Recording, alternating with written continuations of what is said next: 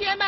还有不少摊贩也来赚少女时代财。歌迷集报场外，还有远从香港来的粉丝自制少女时代专属纪念品，像是衣服，还有面纸包，希望能亲手送给自己的偶像。因为我们站在第一排，就这样丢过去，他们就捡了。不知哪。